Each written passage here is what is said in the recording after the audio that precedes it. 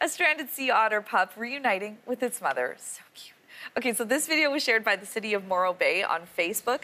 The young otter can be seen crying out for its mom as Oh. marine experts hold him out. Look at, oh, there he is.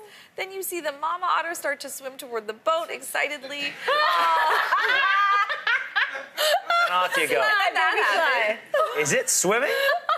Uh, it doesn't look like it's moving.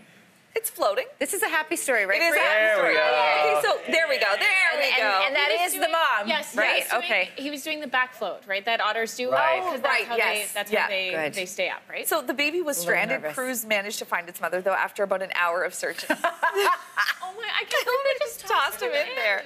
He's an otter. little That's what you do with otters. Off you go. He ought to know better. oh, So good. Yes, Breathe, that was breathe. good.